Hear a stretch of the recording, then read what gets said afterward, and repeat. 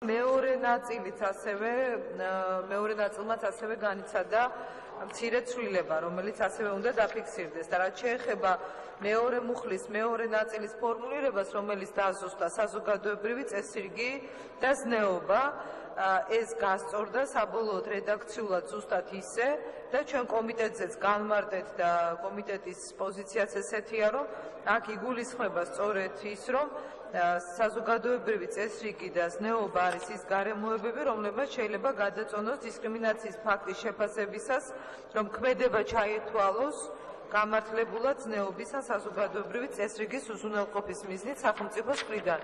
ევროსასამართლოს პრეცედენტული გადაწყვეტილებებია რამდენიმე შემილია გავიხსენო ასევე ენდისაიდი გაერთიანებული სამეფოს წინააღმდეგ, სადაც ევროსასამართლომ თქვა, რომ სახელმწიფოებს გააჩნიათ შეხედულებების ფართო თავისუფლება, რომ შეაფასონ რამდენად აუცილებელია ესა თუ ის ქმედება მორალური სტანდარტების დასაცავად.